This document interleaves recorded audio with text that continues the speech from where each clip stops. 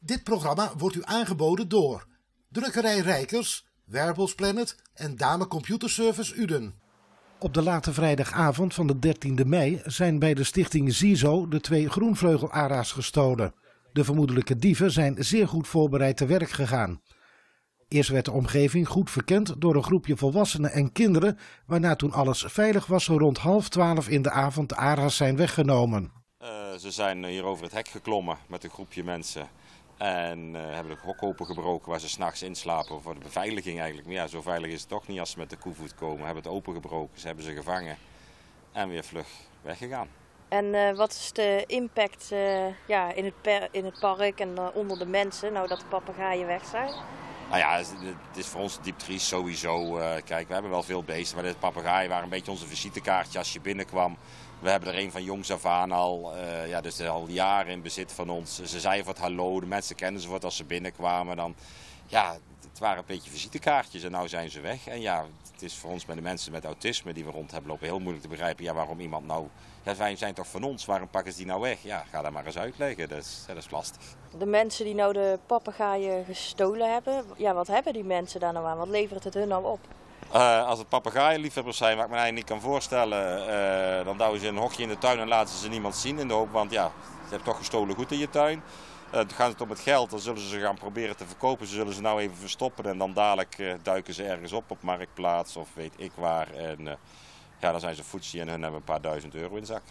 Dus als je papegaaien koopt via het internet, waar moet je dan op letten? je moet sowieso passen als je iets koopt, ook via het internet. Uh, maar ja, in ieder geval dat ze, of ze gechipt zijn of ze geringd zijn. En dat er een goede geldige herkomstverklaring bij zit. Dat ze kunnen aantonen waar ze vandaan komen. En uh, controleer dat ook, want ja, het is... Ja, toch, stel dat je zelf een paar van die papegaaien hebt en ze worden weggehaald, zou je toch ook heel graag terug willen hebben. Ja, want uh, de papegaaien van jullie waren gechipt. Eentje was er gechipt en één had een ring om. Mensen roepen heel snel van heb je niks geleerd met de vorige keer met meeuwen en met de beveiliging en zo. Ja, kunnen jullie nog iets meer aan de beveiliging doen? Of... Nou ja, mensen oordelen heel gauw uh, van oh, heb je niet geleerd van de inbraak of van de meeuwen doodschieten, uh, van meer camera's. We hebben camera's extra bijgehangen. We, we, doen alles wat we kunnen. Maar aan de ene kant willen mensen de beesten vrij en blij zien.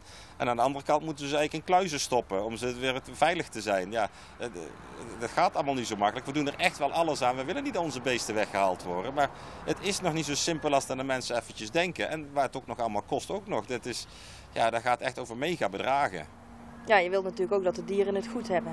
Ja, ik wil dat ze het goed hebben, maar ik wil ook dat ze hier blijven, dat ze het niet weg komen halen. Dat, daar zou ik echt alles tegen doen. Maar ja, sommige dingen zijn bijna niet te beveiligen. Dat, dat, dat is, dat, is, dat is haast niet te doen. Of ja, je moet ze echt in een kluisje stoppen met een gat erin de mensen daardoor het gaatje kunnen kijken. En voor de verder rest, ja, dat schiet ook niet op. Nee, dat is ook zielig voor de dieren. Ja, dat sowieso. Heeft u vrijdagavond de 13e mei rond half twaalf op de Zeelandse dijk toevallig deze mensen zien lopen, waarvan één persoon wat mank liep? En heeft u wat meer informatie over bijvoorbeeld de auto die op de invalide parkeerplaats voor de ZISO stond?